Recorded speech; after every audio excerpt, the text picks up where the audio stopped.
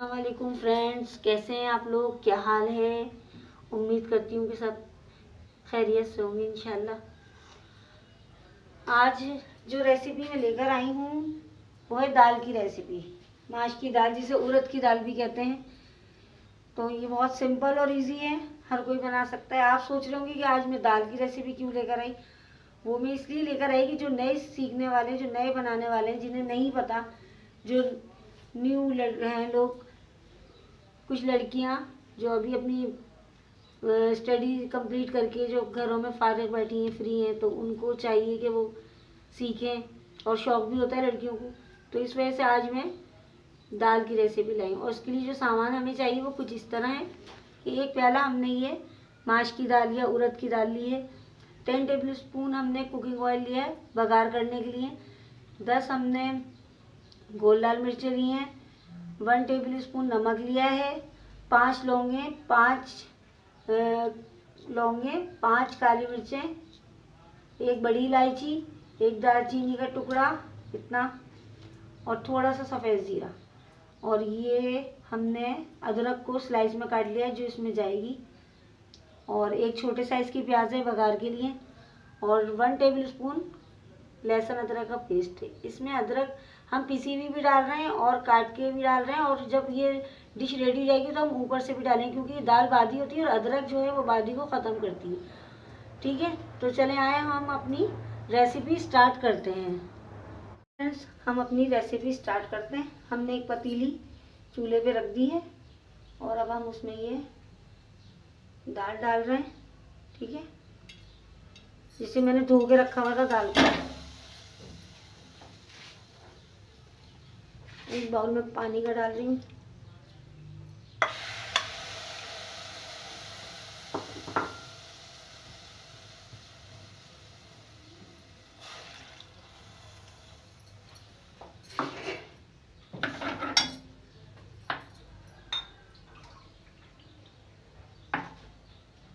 एक बाउल हम और डाल रहे हैं।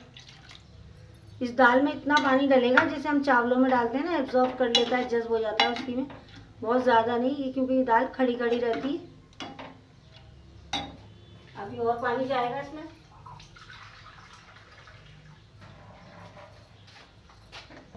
ये देखिए, ये मैंने तीन बाउल ये वाले डाले।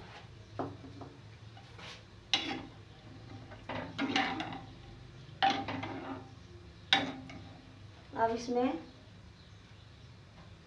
ये गोल लाल मिर्चें, नमक, गरम मसाला और अदरक। ये सब चला गया। अब ये लहसुन अदरक का पेस्ट, ये भी सब चला गया।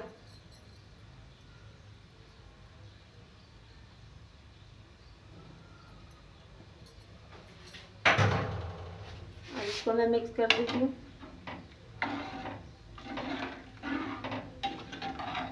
पानी आप अपने हिसाब से डालिएगा। अगर आपको लगे पानी कम है पानी तो आप पानी की क्वांटिटी और कर सकते हैं, लेकिन इतना ही डालना है कि ये पानी इसी में खुश हो जाए। और जो नए बनाने वाले हैं, जिन्हें नई आइडिया कि चावलों में कितना पानी होता है, उसी तरह इस दाल में पानी होता है।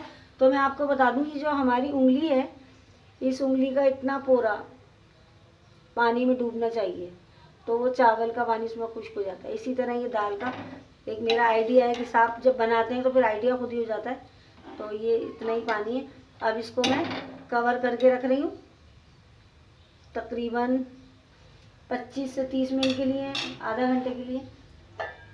और फिर मैं आपको दिखाती हूँ नेक्स्ट प्रोसेस क्या है, ठीक है?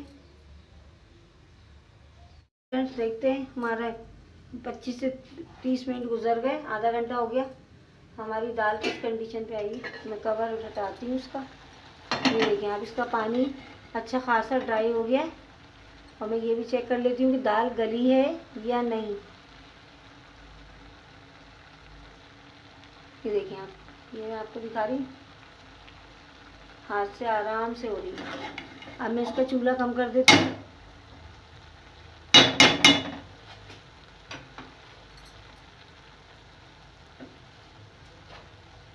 बस हमें इसी कंडीशन पे ये दाल चाहिए।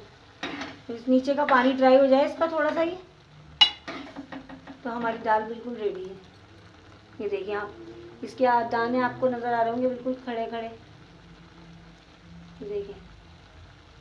और ये मैंने चेक करके भी दिखाया आपको। यहाँ से दब रही है बस ठीक है। थोड़ा मैं इसको इसी तरह रख के कर रही हूँ।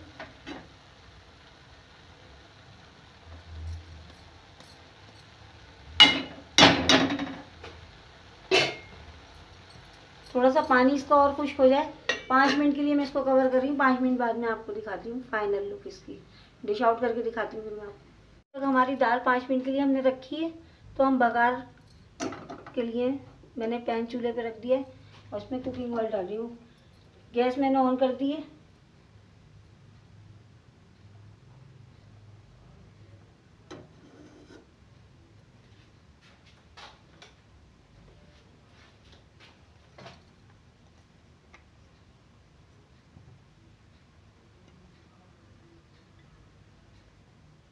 ये थोड़ा हीटअप हो जाएगा तो फिर मैं इसमें प्याज डाल दूँगी।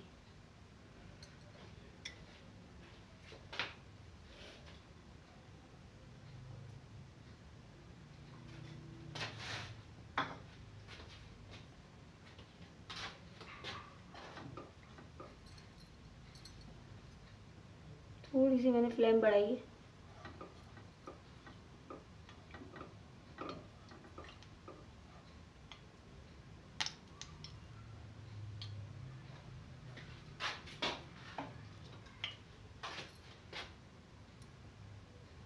हमारा जो ऑयल है, वो हल्का हल्का सा हीटअप हुआ है, अभी मैं ये प्याज डाल देती हूँ, ठीक है?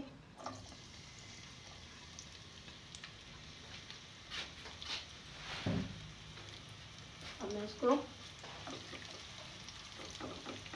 स्पैचुलर से अलग अलग कर लेती हूँ, इसकी स्लाइस ताकि ये जल्दी ब्राउन हो जाए।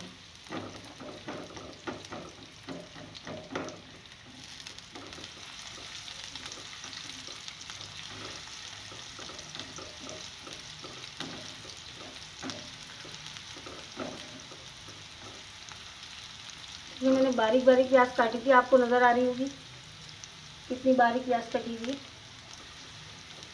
इसको मुझे अच्छा सा ब्राउन करना है, गोल्डन ब्राउन।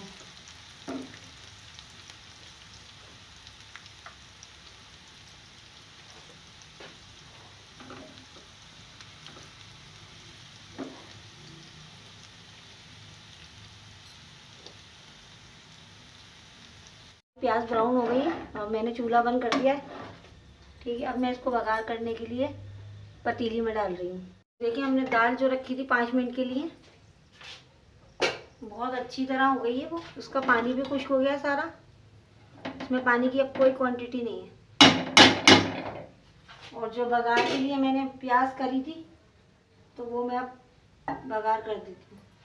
ठीक है, ये देखें, ये बघार ये मैंने प्याज इसमें डाल दी।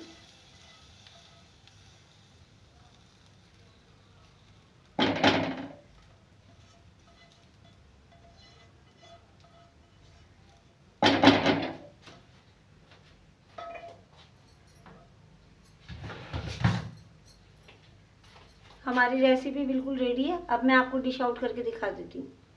देखिए फ्रेंड्स ये मैंने दाल जो है डिश आउट कर दी है और मैंने इसे हरा, हरी मिर्चें और अदरक से गार्निश किया है। और ये लाल मिर्चें जो आपको साबुत नज़र आ रही हैं, ये तो मैंने पकते वक्त ही डाली थी तो इसका ये लुक आया ये देखें आप, ये आप ट्राई ज़रूर कीजिएगा, इंशाल्लाह आपको पसंद आएगी। बहुत मज़े की बनती है ये। और अगर आपको मेरी रेसिपी अच्छी लगे, जो बात में आपसे हमेशा कहती हूँ तो आप वीडियो को लाइक कीजिएगा, कमेंट कीजिएगा और चैनल को सब्सक्राइब ज़रूर कीजिएगा ताकि हर नए आने वाली वीडियो का नोटिफिकेशन आपको फौरी मिल सके। उम्मीद करती हूँ कि आपको ये रेसिपी ज़रूर पसंद आएगी इन आप ट्राई ज़रूर कीजिएगा। नेक्स्ट वीडियो तक के लिए अल्लाह हाफिज़।